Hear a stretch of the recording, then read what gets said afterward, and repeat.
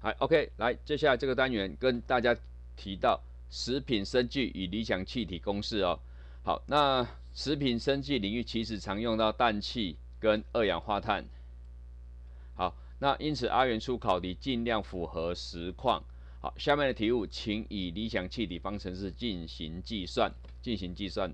来这边啊，这边公式 P_V 等于 R T，这个已经给大家了。液态氮 （liquid nitrogen） 小写为 Ln2，是生化实验常用的啊。部分食品农产品都进行快速降温的时候会用到哦。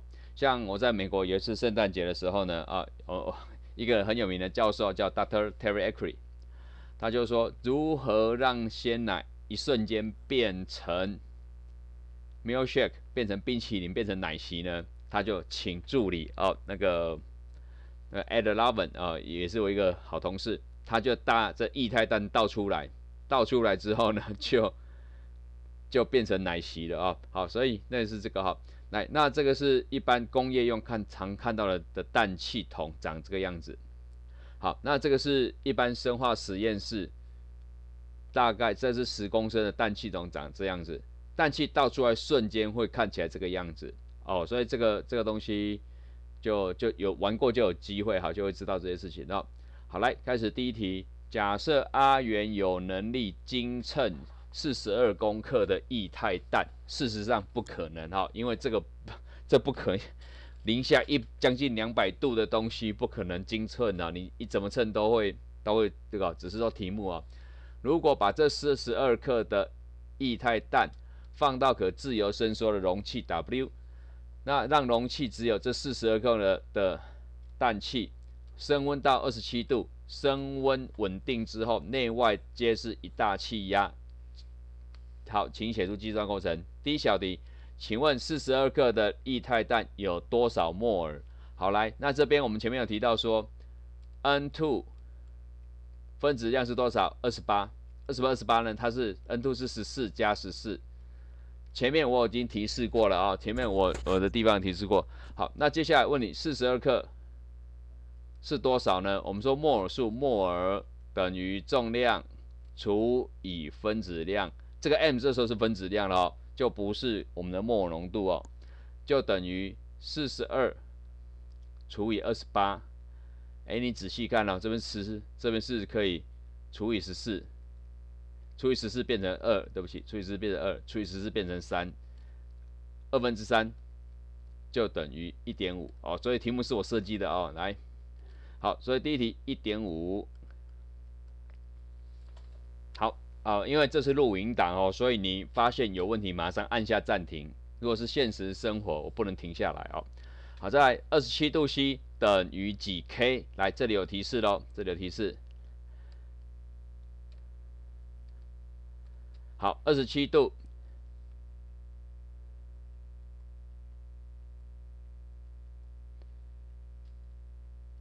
三百 K，好，搞定。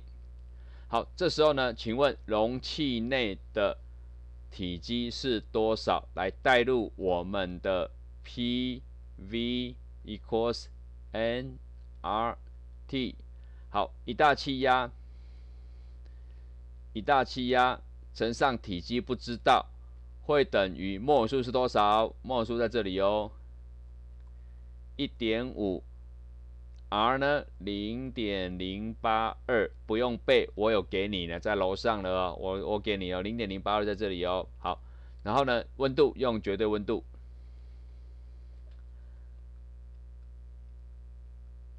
好，这边我就不细细的那个哈，这边算出来的话，会得到是三十六点九公升，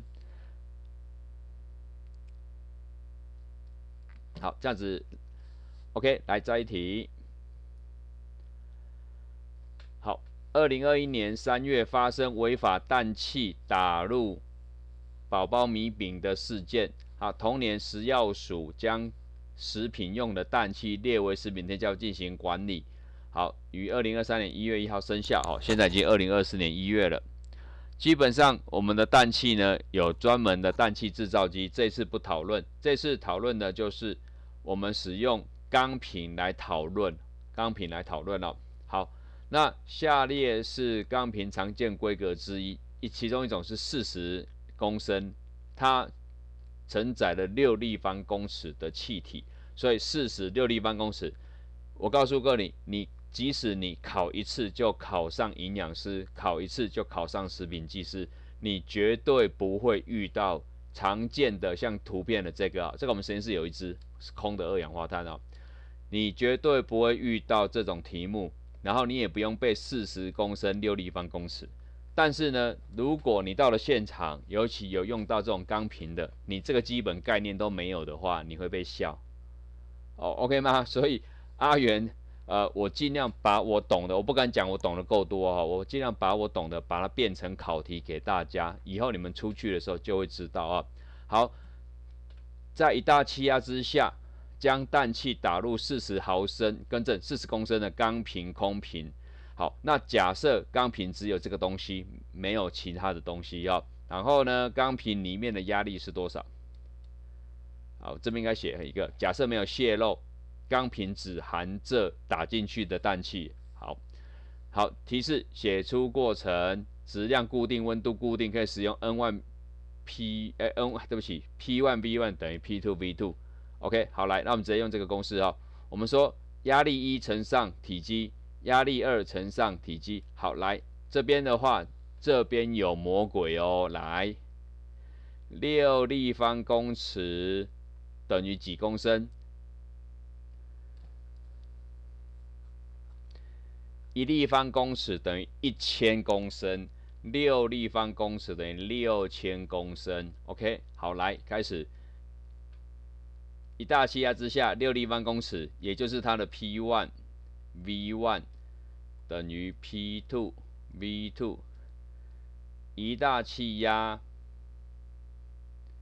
乘上六千公升，会等于后来的压力 P two 乘上四十公升。哦，这样子不难哦，这样子不难。好，那也接接下来就是运算问题了哈。运算问题，也就是说 P2。等于四十分之六一二三杠掉干掉，这个英文叫做 cancel cancel the zeros，我还真的不知道嘞哈，因为因为下学期要用英文教统计学哦，所以我现在在看 YouTube 学英文呢。这些英文这些英文真的很难，数学不难。数学不难，不然怎么考台大，对不对？啊，这些数学不难，但是呢，这边英文我们没学过，那哦，OK，就叫做叫叫做 cancel，OK，就把它叫做对消，所以消掉啊。那这边算出来就是等于一五零，跟它单位一样，ATM，ATM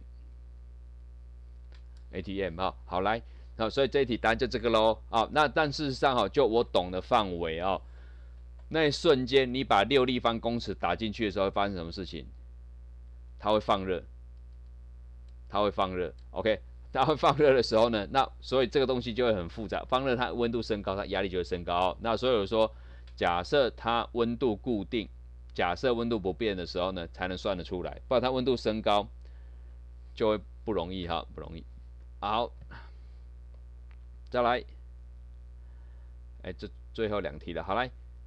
素食店常见的汽水，其二氧化碳钢瓶常见规格是五公升、七公升、十公升啊，对应到对应到零点七一跟一点五立方公尺的体积，空瓶重分别是八、十二、十五公斤。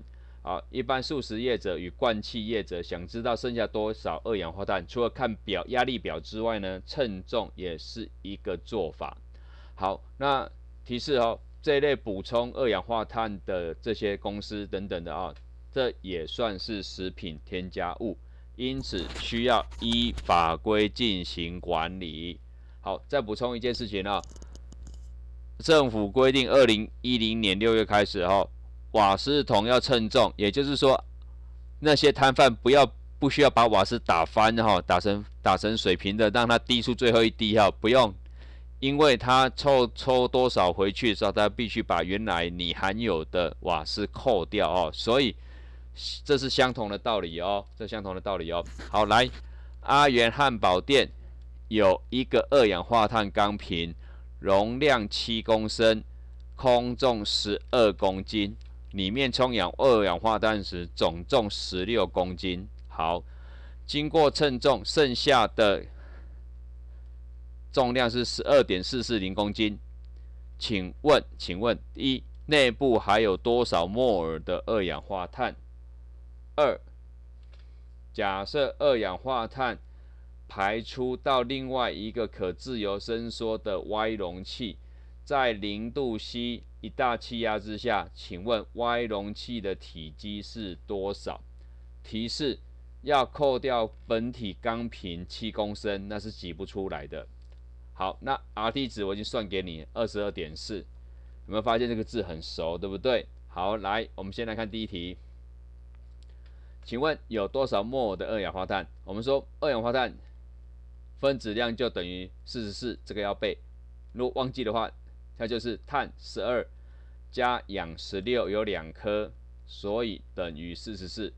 四十四的意思就是说每公克每摩尔。有这么多功课，好，那请问哦，我们说摔跤选手一个可能体重就是一百二十公斤哦，他是一个人搭飞机买一张票，阿元体重可能比他轻很多，阿元买飞机也是买一张票，好，有一个我们像我们一些女生哈，可能身材娇小啊，然后身材娇小，可能一个人就只有四十五十公斤左右，那他也是买一张票。这就是摩尔数不一样啊，摩尔数它本质摩尔数一样，但是它体重不一样。好，这时候呢，我们就说空重十二公斤，重量十二点四四零，两个相减会得到四四零克。好，那我们说摩尔数等于重量除以分子量，四四零除上四十四。等于十摩尔，OK，所以内含多少摩尔的二氧化碳？十摩尔，好，或者加 S，好好来。那请问这些气体十摩尔的气体，假设假设它把这种钢瓶啊，这种二氧化碳钢瓶全部排出去，呃，七，呃，假设中间这个好了哈，全部排出去到一个体积。可以自由伸缩，没有压力的。请问它的容器是多少？好了，一样，PV 等于 nRT。我们说压力就是一大气压，一 atm。V 体积不知道，V 就是我们要算的嘛，哈，就是要算体积，乘上摩尔数 n 十，乘上 RT 值。R T 值用二十二点四，好，也就是这时候呢，它的体积是多少？很快算出来了，V 等于二二四公升。好，那事实上，好，它是什么意思呢？它是一个瓶子，抱歉，瓶子没有画啊，打出来到一个可自由伸缩的。总体积七公升体积加 y 的体积等于二二四，但是呢，因为总体积七公升挤不出去，那是钢瓶呐，不是挤牙膏啊，牙膏是软的，对不对？你可以把它用挤的挤出去。抱歉，它不是牙膏，它是钢瓶，因此呢，二二四要减掉七等于二一七公升，就是这个容器的体积。好，为什么我会考这一题呢？因为很简单，这个未来你们在食品厂做换算的时候，就会知道说那七公升挤不出来的哦。好，另外一件事情呢，就是我在上职安课程的时候呢，就老师讲的这个故事哦，那就讲得很好笑，就知道说那七公升那挤在里面呢是挤不出来的。好，OK，好，那这边讲解完毕。